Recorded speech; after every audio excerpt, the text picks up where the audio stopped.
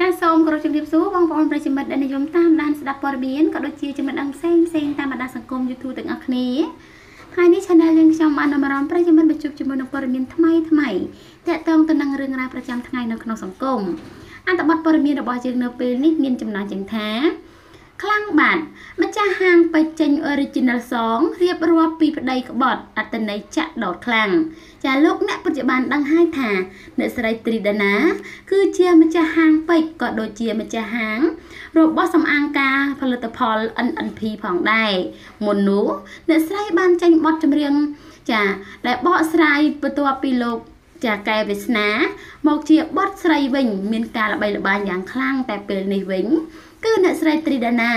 បានចេញ original song រៀបរាប់ពីប្តីក្បត់មានអត្តន័យចាក់ដោតយ៉ាងខ្លាំងដើម្បីទទួលបានព័ត៌មាននេះកាន់តែច្បាស់សូមប្រិយមិត្តចុចចុច subscribe ឲ្យ channel យើងខ្ញុំម្នាក់មួយផងចុច subscribe រួចហើយ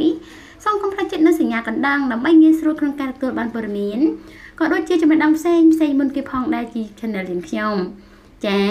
បន្ទាប់ពី cover ចម្រៀងប៉ុន្មានបទគ្រាន់ស្ដាប់កំសាន្តប៉ុន្តែមានអ្នកគាំទ្រច្រើនលើលបពីការស្មាន របស់ម្ចាស់ហាងពេជ្រស្រីរូបស្រនៅព្រៃភ្នៅក៏បានសម្រេចចាត់ចែង original song មួយបទដែលមានចំណងជើងថាទឹកភ្នែកសំរាមបទចម្រៀងនេះគឺជាស្នាដៃនិពន្ធថ្មីទាំងសាច់ភ្លេងទំនុកច្រៀង ហើយបកស្រាយដោយអ្នកស្រីត្រីដាណាផ្ទាល់តែម្ដង។ បទទឹកភ្នែកសម្រាម បានរៀបរាប់ពីការឈឺចាប់និងទុក្ខសោករបស់នារីជាភរិយា ដែលបានប្តីផាត់ក្បត់ចិត្តទៅមានស្រីក្រៅធ្លាប់ស្រឡាញ់ធ្លាប់ផ្ដល់ស្នាមញញឹមធ្លាប់សន្យាថាស្មោះមិនប្រែហេតុអ្វីពេលនេះរៀបការរួច មានទាំងកូនជាចំណងដៃបងបែរជាក្បត់ថ្មី មិនខ្វល់ពីការឈឺចាប់និងដំណក់ទឹកភ្នែករបស់អូន ពាក្យថាប្រពន្ធប្តីតើមានតម្លៃត្រង់ណា ការតស៊ូជាមួយគ្នាពីមុនមកបងធ្លាប់ចាំទេ ទាំងអស់នេះគឺជាអត្ថន័យពិតប្រាកដនៅក្នុងនៅក្នុងទំនុកច្រៀង របស់បទចម្រៀង Original Song របស់អ្នកស្រីត្រីដាណា ដែលមានចំណងជើងថាទឹកភ្នែកសម្រាម ចាតាមពិតទៅអ្នកស្រីត្រី ដាណា គឺជាម្ចាស់ហាងពេជ្រនៅព្រៃភ្នៅ និងជាអគ្គនាយិកាក្រុមហ៊ុនដាណាត្រីខេមបូឌា Lilthin Ocal TD ដែលនាំចូលនិងចែកចាយផ្ដល់មុខដល់នៅផលិតផលសម្អាង គឺ NNP ប៉ុន្តែអ្នកស្រី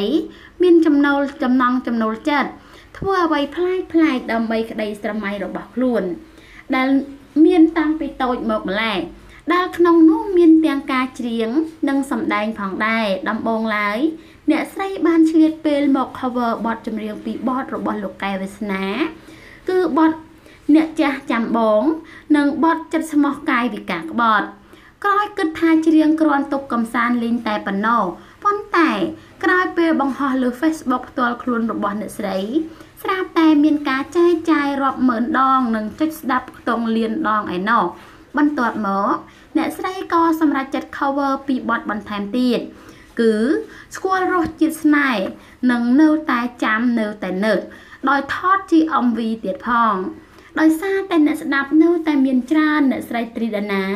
បានសម្រេចចិត្តថត original song ដោយខ្លួនឯងហើយបទថ្មីដែលទើបបង្ហោះនោះគឺ ទឹកភ្នែកសម្រាម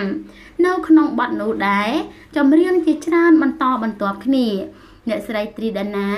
ធ្លាប់មានប្រវត្តិលំបាកលក់ខោអាវចជុះក្រមឆាតមុខរោងចាក់ប្តាយឪពុកបានស្លាប់ចោលតាំងពីជាង10ឆ្នាំមុន